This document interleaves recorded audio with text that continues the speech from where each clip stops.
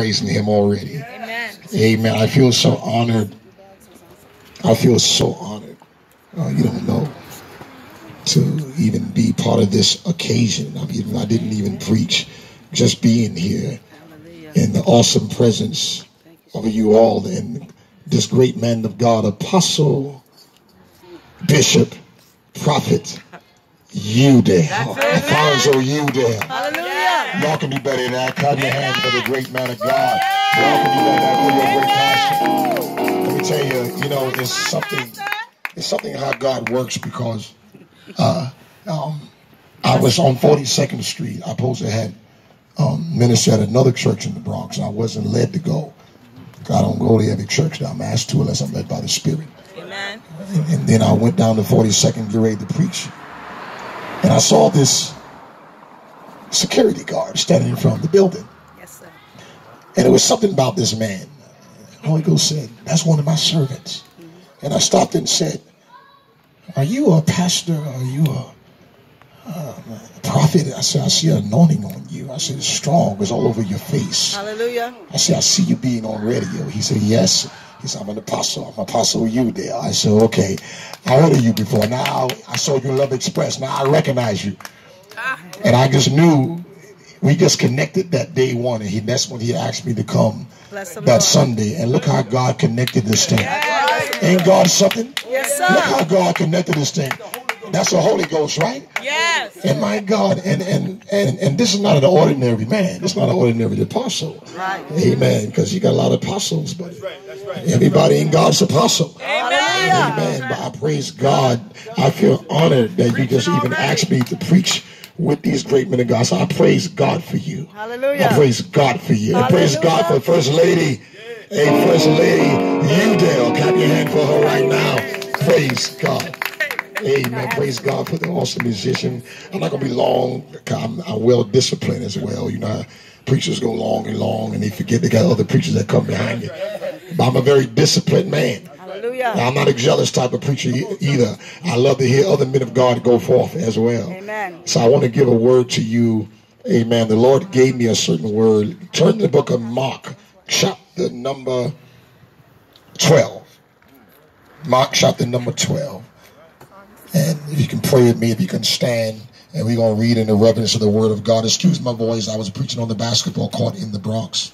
Amen. Yeah, a lot of more souls came to Christ this morning. Hallelujah. I was in Connecticut all, on this week preaching the word and preaching street ministry, and my voice is kind of hoarse, but I feel the Holy Ghost on the inside. Mark chapter number 12. Uh, 12. We're going to start from verse number 29. And I want someone also to give me the book of Praise God. Someone say, Praise God. Praise God. Amen. So we're going to start from Mark. Praise God. We're going to go to also. We're going to go to the book of First Corinthians as well, chapter 12. And we're going to go to verse 29. Can someone read what I just gave Mark? What was that? Mark 12, Mark 12. And what verse I gave you so far? 29. Can you read it for me? Thank you, man of God. God bless you. Amen. You can take your time. How many love the word? Hallelujah. I know you love the word. The apostle always teaching you the word. Man shall not live by bread alone, but by every word that proceeds out of the mouth of God. Read. Um, and Jesus answered him, The first of all the commandments is, Hear, O Israel, Hear, O Israel. the Lord our God is one God, Yes, and thou shalt love the Lord thy God yes. With all thy heart, Someone say all thy heart. All thy heart, with all thy soul, Someone say all all thy soul, with all thy mind, with all thy mind, with all thy strength. with all thy strength. This is the first commandment. First commandment. And the second is is like men, men, namely this: Thou Yes. shalt love thy neighbor as thyself. as thyself. Carry your hand to Jesus Christ up in here. Hallelujah. Now we're going to go to the book of Matthew, chapter well read. Praise God. Matthew chapter, I was read with power. Beautiful. Matthew chapter 19. I'm going to go to verse 21. If thou wilt be perfect, go and sell. And let's start from verse 17. But the rich young ruler that came to Jesus. You remember that story, right? We're going to go to actually, we're going to start from verse 15. He laid his hands on them and departed thence. And behold, one came and said unto him, Good master, what good thing shall I do that I may have eternal life? And he said unto him, Why callest thou me good? There is none good but one, that is God. But if thou wilt enter into life, keep the commandments. And he says unto him, Which? Jesus said, Thou shalt do no murder, thou shalt not commit adultery, thou shalt not steal, thou shalt not bear false witness, honor thy father and thy mother, and thou shalt love thy neighbor as thyself. Verse 21. If thou wilt be perfect, well, I don't want to skip over verse 20. The young man says unto him, All these things have I kept from my youth up. Yeah. What like I yet? Jesus said unto him, If thou wilt be perfect, go and sell that thou hast and give to the poor, and thou shalt have treasure in heaven, and come and follow me. But when the young man heard that saying, he went away sorrow, for he had great possession. Then said Jesus unto his disciples, Verily I say unto you, that a rich man shall hardly enter into the kingdom of heaven. And again, I say unto you, it is easier for a camel to go through the eye of a needle than for a rich man to enter into the kingdom of God. May the Lord bless me in the scriptures and sanctify in our hearts in Jesus' name. And I will get into First Corinthians later on in the message. I want you to touch your neighbor right now. I want you to shake your neighbor's hand. The Lord gave me this title. Begin to say neighbor very loud. Neighbor. Puppy love. Puppy love is not enough. It's not enough. Puppy love, Puppy love is not enough. It's not enough. Begin to say neighbor again. Neighbor. A holy man. A holy man is an attractive man. Is an attractive man. Amen. God bless you. Clap your hand for Jesus Christ right now. Take your time, brother. Thank you. When Apostle Udell um, inboxed me and I saw on the Facebook, he said that the theme is a man that loves God, right? I love that theme a man that loves God. How many know when the man of God read the scripture where he said, Heal Israel, the Lord thy God is one. Thou shalt love the Lord thy God with what? All thy heart, with all thy mind, with all thy soul. Did it said some or all? It said all. That means there's different levels of love. It's deep right there. There's different levels of love. You know, in a marriage, you know, there's a difference between a wedding and a marriage. Um, a wedding lasts for one day. But a marriage lasts for a lifetime. Can you say amen to somebody? A wedding just to prepare you for the marriage. But all to keep that marriage working, it takes more than just puppy love. Hello. Amen. There's different levels of love. You got some that love God a little bit. Mm-hmm. Some God just some just love God halfway. Mm-hmm. But there's those of you who are sitting here who love God all the way. Get somebody high five say I love God all the way. God all the way. You know that little puppy love that you had when you was in school? That's a little, little love. But you know, they had a song that goes, This little light of mine, I'm going to let it shine. I want to change that song, All this light of mine. I'm going to let it shine. Can you say amen to somebody? God wanted all our light to shine, not just a little bit of light. And our love is going to be tested here.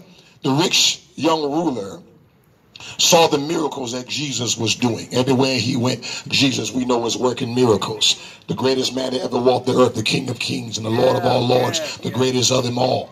The root and the offspring of David, the bright and the morning star. Everywhere Jesus went, he cast out demons. He healed the sick. He even got men out of caskets who was dead. That's some kind of power. Can you say amen to somebody? So everyone wanted to follow Jesus.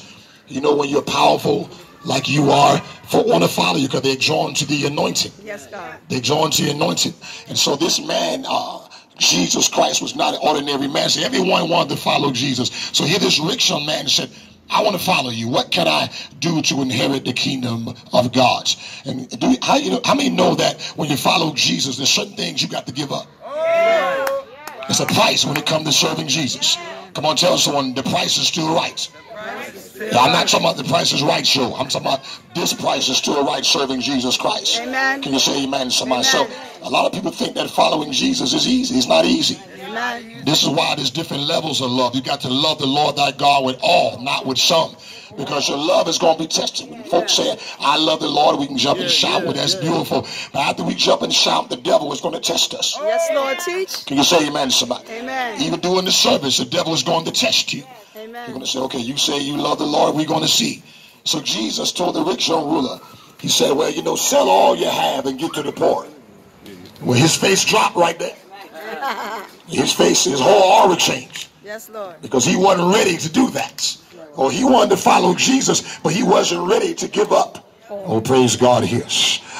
And so that's what Jesus said, that it's easier for a camel to go through an eye of a needle than for a rich man to enter into the kingdom of God. There's some things you got to give up. And see what makes Apostle Udell so special that the reason why is he's so anointed because he has character. Hallelujah. Somebody say character. Character. And there's a lot of people who got the gift but not the fruits. Hello, somebody. Hallelujah. You shall know them by their fruits, not by their shoots or their rhymes. I like that. Jesus. Can you say amen? So there's a lot of folk who wear nice suits, but they're still working roots. Oh, hello, somebody. Can you say amen? Somebody. Amen. You should know them by their fruits and not by the gift. Because the Bible said in the book of Romans chapter 11 verse 29 Teach, Lord. that the gifts of calling, the gifts and callings of God are without repentance. Right. Jesus said you'll know them by the fruits, not by the gift. On. You can have a gift to prophesy, which is great. You can have a gift of music and a gift even of preaching the word. But spell the word preach. Preach is spelled P-R-E-A-C-H, right? Take the P off preach what you got, reach. Take the R off reach what you got, each. That means the preacher supposed to preach to reach each. If they going to live right, then you cannot preach to reach each. Down. Can you say amen to somebody? Therefore, I got to live what I preach, not just preach. Can you say amen to somebody? You see, pulpit means to go in the pit and pull the souls out the pit. You better teach them to So God. this is the pulpit right here. And this is why you're giving a street meeting right now because you're pulling souls out the pits. Come on. And the reason why the devil has fought you so hard, Apostle, because I know this didn't just come overnight. I know this anointing just didn't come overnight. There's a price that you had to pay. There's some suffering that you've been through. And let me tell you, when you operate the fruits of the Spirit, you are living holy. Someone say. Holy. A lot of pastors and preachers don't preach holiness the way they used to preach holiness. But tell someone holiness is still right. Holiness is still right. The. Bible declares the book of Hebrews, chapter number 12, verse 14, huh, to follow peace with all men for holiness, without which no man shall see the Lord. That deals with character. Someone say character. Character. That deals with the character, deals with your fruits. Fruits. I didn't say gifts, fruits. Because you can have a gift, but still die and go to hell. Yes. That's why Jesus said in the book of Matthew, chapter number 7, verse 22, he said, Many in that day would say, Lord, Lord, have we not cast out devils? Come on, somebody. Yes, sis. Have we not done many wonderful works? Have we not prophesied in your name? We have done wonderful works in your name. What he's going to say, Depart from me, ye workers of iniquity. I never knew you. Yes. That's scary. You mean tell me I can prophesy and I can preach the word and still die and go to hell? Yes. You see, it takes more than just puppy love. Come on, Yes. give somebody a high five. And see, it takes more than just puppy love. But you got to love the Lord thy God with all your hearts. Not with some of your hearts. But somebody said all. Oh. And you see, you're going to be tested. Because now the churches are falling away now. The Bible declares in the book of First Timothy, amen, chapter 4, verse 1, some in the latter times, some shall depart from the faith, giving heed to seducing spirits and the doctrines of devils. You turn the word channel now. They're charging you a thousand dollars. I don't want to hear me up here. Come on. We know ministry costs money. Don't get me wrong. I don't mind giving money to this man of God because he's a true prophet. But every person that come on that television doesn't mean they're God's prophets. Can you say amen, somebody? Anytime they're charging you a thousand dollars and they're already rich, that's a con artist. You don't want to keep me up in here. But don't give your money to every preacher.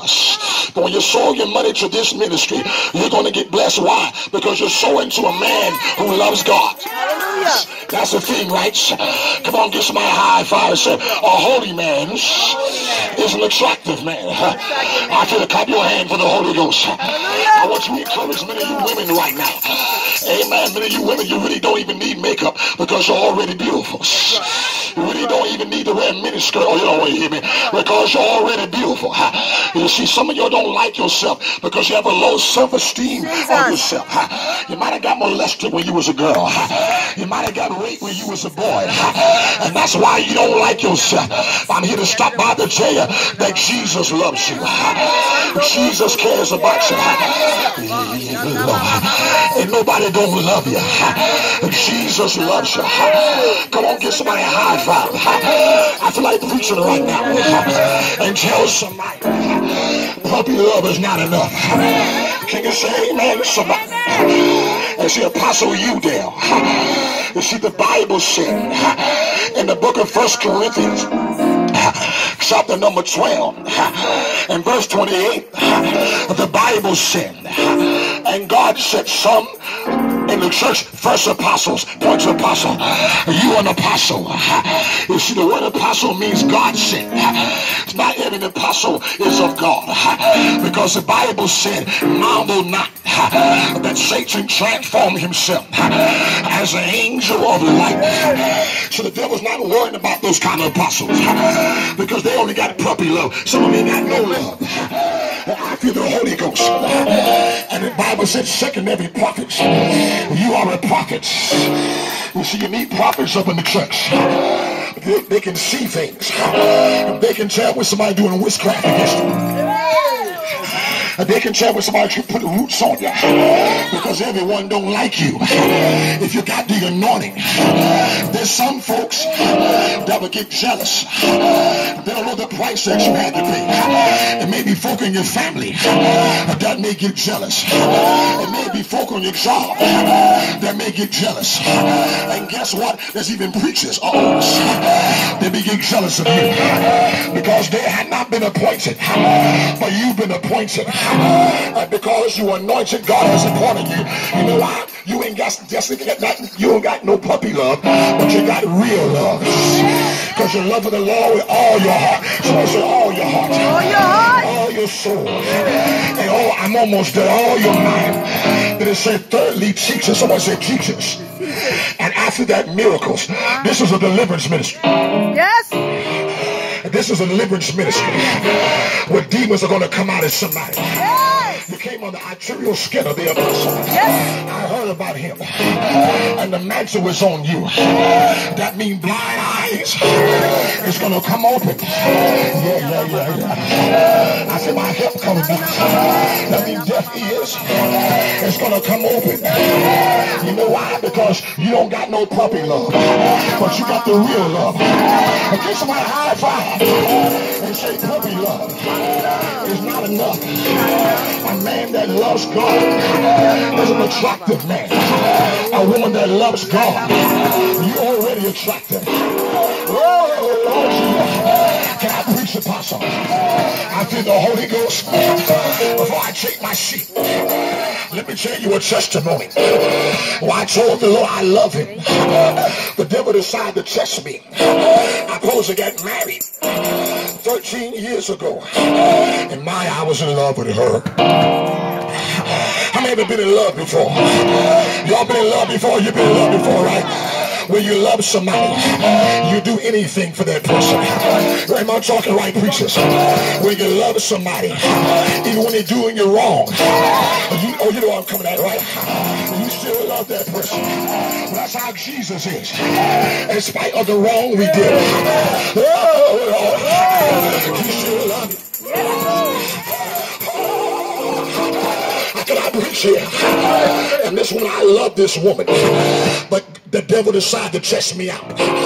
Four months before the wedding, my ex-fiance told me, she said, if you really, really love me, she said, give up preaching the gospel. She said, give up preaching the gospel.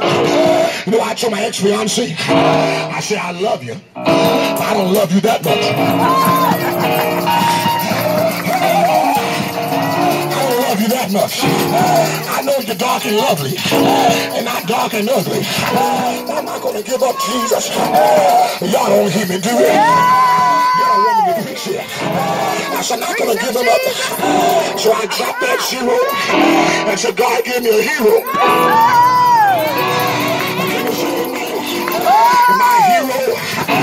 Is Jesus. My hero is Jesus.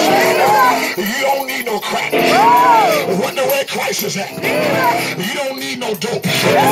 God is a great hope. Yeah. You don't need no cocaine. Just get in God's domain. You don't need no angel dust. In God we trust. If I was you, I gotta take my seat. But I was you. Don't you give up. Don't you give in. Hug somebody. My Somebody big hug and say, neighbor, don't you give up. give up. Help is on the way. Way. Apostle, Udell. The Lord told me to tell you, this is just a rehearsal. This is just a rehearsal. Look where he brought me from. Come on sing with me. I'm a count to number seven. When I say seven, if you really love your Lord, I want you to forget about your shoes. Forget about your suit. We're going to shout the victory up in here. This is a house of deliverance. This is a holy house. And Jesus said, my house shall be called the house of prayer. No homosexuals it. God don't give you a homo ghost. He want to give you the Holy Ghost. We got you be homosexuals up in the churches. God said, Apostle, keep preaching holiness. Ah, hell. Got to be lesbians up in this, not this, not this church. I'm a bass guitar player. They got the gift, but not living holy. They're not attractive. They got the gift, but the man still cheating on his wife. They got pastors still having affairs on their wife. If you don't repent, somebody say repent. He's going to hell. Keep preaching holiness. Come on, hug somebody. Say, keep preaching holiness. No matter who don't like it, because puppy love is not enough. I'm about to get out of here. Are you ready? Yes. Someone say, get ready, get ready, get ready, get ready.